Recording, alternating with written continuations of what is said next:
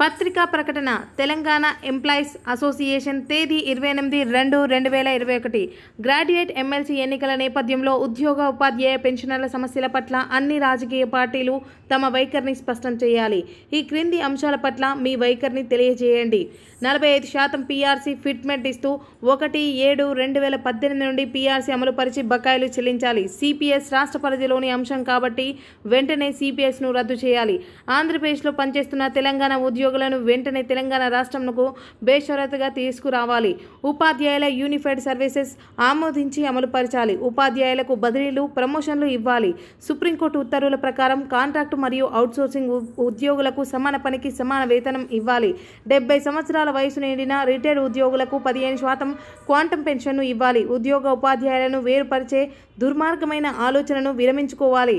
ఉద్యోగ ఉపాధ్యాయులకు పదవీ విరమణ వయసును అరవై ఒక్క సంవత్సరాలకు పెంచాలి. ఇదే సందర్భంలో ఉద్యమం మరిచి లాబింగ్నే నమ్ముకొని ఒప్పిస్తాం మెప్పిస్తామనే సంఘ నాయకులకు విన్నపం ఏమిటంటే మీరు ఉద్యమం చేయకున్నా పర్వాలేదు కానీ ఉద్యమం చేస్తున్న ఐక్యవేదిక నాయకులను విమర్శించి ఉద్యోగ ఉపాధ్యాయ వర్గాలలో చులకన కావద్దునని విజ్ఞప్తి చేస్తున్నాం.